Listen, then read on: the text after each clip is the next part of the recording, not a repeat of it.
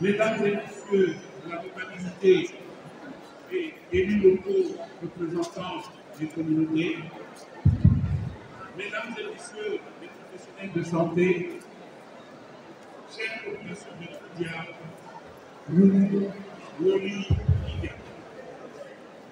Le 20 décembre dernier, son Excellence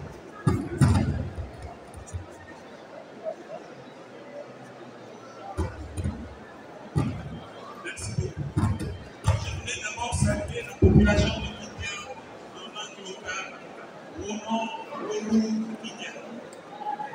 Le 20 décembre dernier, son Excellence, Monsieur le Président de la République, Eh, Jean, président de la transition, a Jean. procédé au lancement de la première phase de la campagne de vaccination d'accélération contre la COVID-19 à Koya. Cet engagement personnel du chef de l'État a montré à suffisance la priorité de la plus haute autorité du pays accorde à la lutte contre la COVID-19 en général et contre la vaccination en particulier. Ce- Cette présence, ce lancement par le président de la République a eu un impact positif dans la population parce que cela a accéléré les activités de vaccination. En effet, de 7,2% de la population complètement vaccinée avant la première phase, la couverture est passée à 14% à ce jour, ce qui a pratiquement doublé. Le lancement de ce jour de la deuxième phase de la campagne d'accélération de la vaccination contre la COVID-19, Monsieur, Monsieur le ministre de la Santé, encore une fois, démontre votre leadership et l'engagement des hautes autorités du pays dans ces activités de vaccination. Monsieur le ministre, comme vous le savez, la Guinée a lancé la vaccination contre la COVID-19 depuis mars 2011.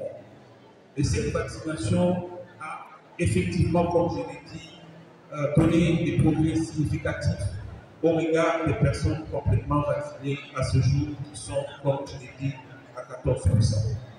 Cependant, la dynamique de l'épidémie, avec l'apparition de nouveaux variants Omicron, impose de revisiter les stratégies de vaccination et de les adapter au contexte du pays pour protéger les populations les plus vulnérables et à risque. En effet, en décembre 2021, la Guinée a notifié 21 cas, 21 nouveaux cas avec le variant Omicron, dont la moitié étaient âgés de 50 ans? Bien que les données de la surveillance indiquent qu'il y a une diminution de cas depuis le début de l'année 2022, les données hospitalières indiquent que 45 sur 62 malades admis en animation, en réanimation, soit 73% ne sont pas vaccinés.